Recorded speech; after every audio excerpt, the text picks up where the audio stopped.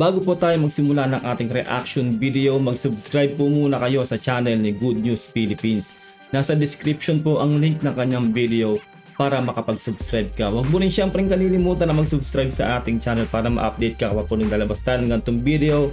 Ang title po nito, US Navy pumasok sa Escoda Shoal.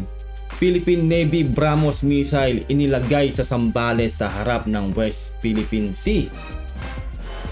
Like this video kung magugustuhan mo ating reaction video, comment down below kung ano magiging saloobin mo kapag napanood natin itong video ni Good News Philippines. Simulan na natin to, let's do this. Mga idol at kabayan, breaking news! Amerika nagpatrol sa Sabina Shoal. Mhm. Gumamit ang US Navy ng isang maritime patrol at reconnaissance aircraft upang kumalap ng mga impormasyon sa lugar. Galit na galit ang China dahil kahit anong banda ang gawin nila, walang epek ito sa Amerika. China, lahat ng gagawin ng Pilipinas mali para sa kanila. Gusto ng China na kunin ang West Philippine Sea, pati ba naman pagpapalakas ng Pilipinas, gusto nila sila pa rin ang susundin. China nanawagan sa Pilipinas na agad alisin ang US mid-range missile system na nakadeploy sa bansa. Lokasyon ng isa sa mga BrahMos missile nabanggit sa pagdinig sa kamera. Ito ay nakadeploy malapit at sa harap mismo ng West Philippine Sea. Ooh. Taiwan, binira ang China, suportado ang Pilipinas. Yes. Department of National Defense Secretary, inisa-isa ang mga proyektong kasalukuyang pinapunduhan sa ilalim ng Armed Forces of the Philippines Modernization Program Horizon 2. Subscribe po kay Good News Philippines. American Patrol sa Sabina Shoal. Galit na galit ang China mga kabayan nang makita nito ang isang eroplano ng US Navy sa katubigang nasa sakupan ng Pilipinas. Ilang beses mang binalaan ng China na huwag makialam ang Amerika pero hindi ito umubra. Mahalaga para sa Amerika na ipakita sa mga Pilipino at sa Pilipinas ang kahalagahan ng kanilang alyansa. Ganyan po kaigting ang gustong pagtulong at suporta sa atin ng US. Bagamat hindi pa rin po tayo pumapayag o hindi pa rin nagbibigay ng go signal itong si General Browner na samahan tayo sa West Philippine Sea. Nakita niyo naman no, nagpapatrol sila dyan sa ating teritoryo. Ganun po ang mga matitinding kaalyado natin, particularly ang US. Hindi ka pa ba nakasubscribe sa aking channel? Dapat mag-subscribe ka na.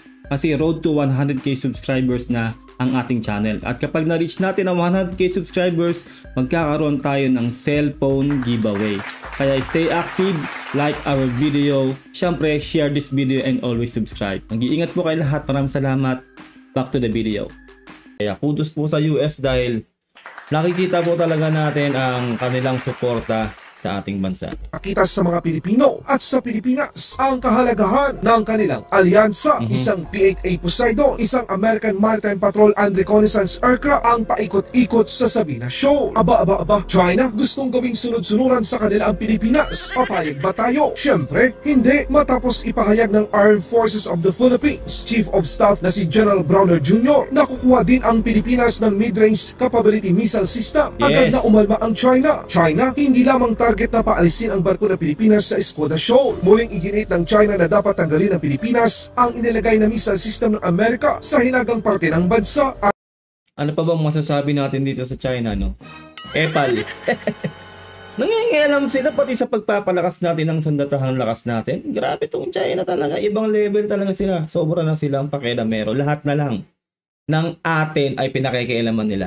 ayon sa Chinese Foreign Minister, ang pagpapanatili ng US Mid-Range Capability Missile System sa Pilipinas ay nagdudulot ng tensyon at makakasira sa katatagan at kapayapaan sa rehiyon. 关于美国在菲律宾部署中岛，中方已多次表达明明确的反对立场。美菲此举挑动地缘对抗，加剧地区的紧张局势，破坏地区的和平稳定， 以引起地区国家的高 Alam niyo yung sinasabi ng China pa, ulit-ulit na lang, peace and stability, na kanilang soberanya, ganun-ganon, tayo daw yung nagpo-provoke, ayaw nila yung ginagawa, ginagawa natin. Pero sila po ang ano talaga eh, gumagawa ng hindi maganda dyan sa West Philippine Sea, sa teritoryo natin.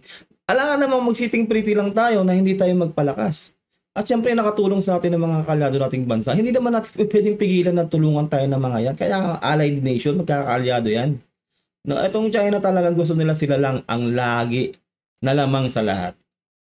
Eh, ginagawan tayo ng hindi maganda, alangan namang hindi tayo magpapalakas. Ang ano talaga tong Chinese na to eh. Itong mga Chinese, itong mga Chinese na to talaga hindi mo alam kung nasaan ang utak eh. Tapos tamo sa mga laging speech nilang ganyan, tayo yung mali, tayo yung nagpo-provoke.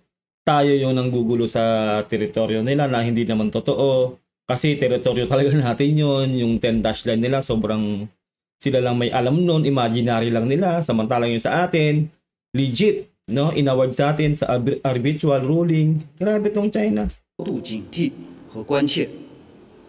菲方应当清醒地认识到美方的真实目的，回应地区国家的共同关切，不要牺牲自身的安全利益，为美国火中取栗。 按 Naku, naku, naku, lahat na lang ng para sa Pilipinas, ayaw ng China, ayaw ng nga eh. China na umunlad at lumakas ang puwersa ng Pilipinas. Para ano? Gusto ng China na maging, na maging sunod-sunuran tayo sa kanila. Tinututulan ng China ang pag-deploy ng US Mid-Range Capability Missile System sa Pilipinas. Wala kayong magagawang mga tsekwa kayo. Una-una, di ba? Kayo yung nanggugulo. Kayo yung gumagawa ng hindi maganda dyan sa ano, sa aming teritoryo. Tapos pati ba naman tong pagpapalakas namin at um, pagtulong ng kaalyado bansa, bansa namin, ay ano nyo pa, mamasamain nyo pa, talagang ayaw nyo. Takot lang kasi kayo sa US. Real talk yan. Dahil sa taglay nitong kakayahan na pwede silang tabaan ng hindi namamalayan. Yes. Ayon sa Armed Forces of the Philippines, mananatili ang US Mid-Range Capability Missile System sa Pilipinas habang ito ay kinakailangan. Sa ibang Yes. balita naman, lokasyon kung Buti na lang ganun no palakpakan natin kasi 'di ba na ano yan eh. Na September nga, 'di ba? September na ngayon. Dati sinabi hanggang September lang. Buti na lang ngayon hangga't hindi natatapos ang sigalot at hanggang kailangan natin ay hindi po tatanggalin yung typhoon system na yan sa ating bansa. Malaking kudos po sa Amerika. Maraming salamat po talaga. Dahil po grabe ang igting ng suporta ng bansang yan sa atin. sa system sa Pilipinas habang ito ay kinakailangan. Sa ibang balita naman, lokasyon kung saan inilagay at nakatutok ang isang BrahMos missile ng Pilipinas, posibleng malapit sa West Philippine Sea. Mhm. Ito ay nabanggit at napag-usapan sa pagdinig sa pondo ng Departamento ng Depensa ng Pilipinas sa Kamara. Thank you, Mr. Secretary. How about in San Antonio, sir? Oh, that's a Philippine base and it's not an EDCA site. It's It's a secure Philippine base. pero nagkakaroon ng doon, nagkakaroon ng exercises. Oh yes, Your Honor. Any Um, any any base in the Philippines can be the object of an exercise. Secretary, sa San Antonio, meron tayong shore-based missile doon. Under my ano, we have a shore Your Honor, we cannot confirm or deny the Si Jay Kong Hun to, 'di ba sa ano, sa Samba, alam ko sa Sambales, siya correct may pem. presence of any uh, of such material for national security anywhere in the Philippines. Okay, thank you, Sir Secretary. Taiwan, So sa San Antonio Sambales po, no, andun dun pala po yung ano, yung Bramos nating isa at nakatutok nga raw sa West Philippines. Eh, nako, magagalit na naman ang China niyan.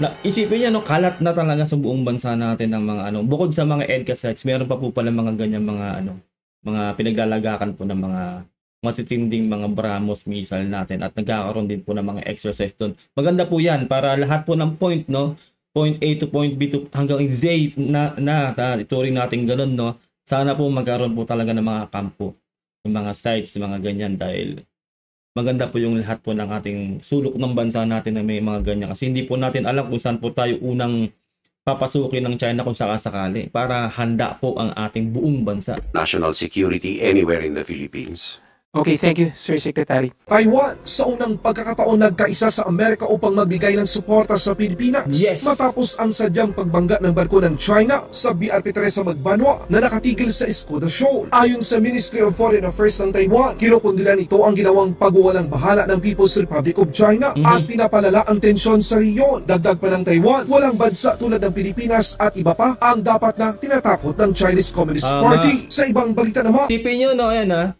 Napakaliit pong bansa niyan ng Taiwan. Although mayaman talaga ang Taiwan, alam natin yan. Ah, pero naninindigan sila na walang bansa ang dapat ginaganyan-ganyan lang ng China, no? Kaya, ang tindi po ng suporta po ng lahat ng bansa sa Pilipinas kasi nakikita po nila na tayo po ang inaargabyado rito ng China. Kaya bumubuhos ang suporta sa atin at tayo ang nasa legal. Kaya dapat po ay palakasin po talaga natin ang ating sandatahang lakas.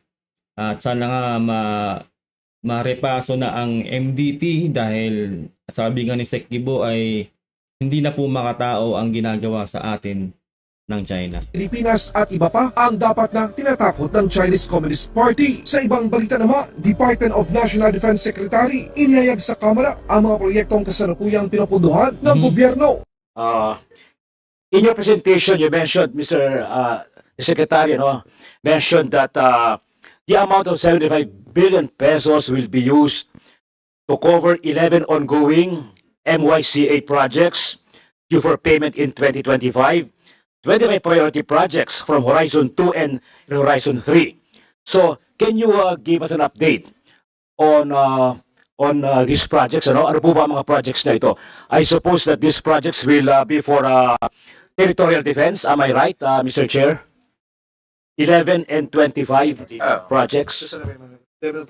There are 11 projects, Your Honor. That's the combat engineer equipment, riverine operations equipment, three lots. Those are the pontoon bridges that we are saying.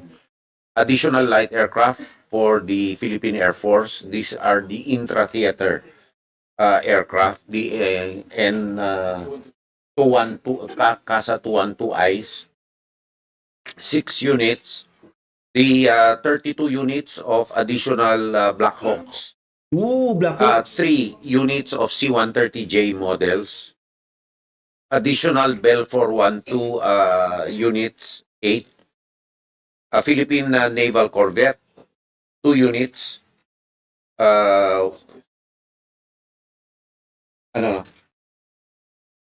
Yeah. Uh, the offshore patrol vessels, there are six units. Uh, command and control equipment of the uh, Philippine Navy, uh, two Dami, grabe.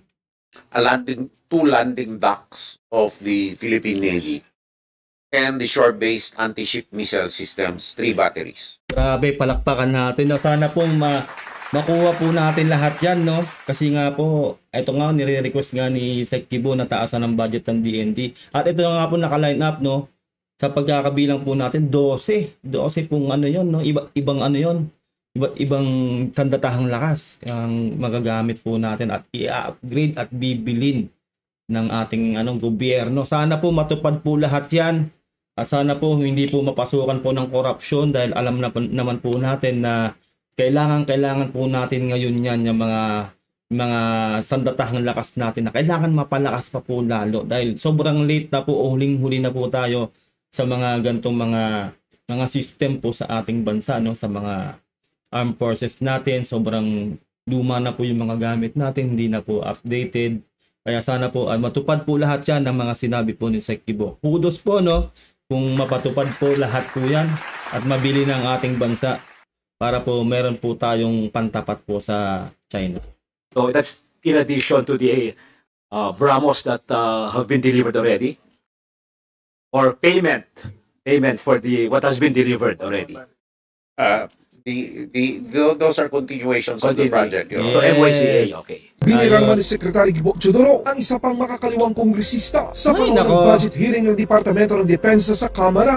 with the Philippines potentially no becoming a pawn sa power struggle ng US at China, ayaw din naman natin yon O sa adversaries ng US, kung yung mga sinasabi niyong interoperable measures ay will threaten lalo, no? Ah, ayaw natin, ah, well, sa sa bahagi po ng makabayan makabayan block, we would like yung solution sa mga marital disputes should be grounded in diplomacy and peaceful negotiations. Mga kababayan ko, mga subscriber ko, ano, alam nyo na po sa susunod na election, no? Lahat po tayo siguro botante, no? Alam nyo na pong kailangan gawin sa mga ganito. Yung mga gantong individual dyan sa ating gobyerno.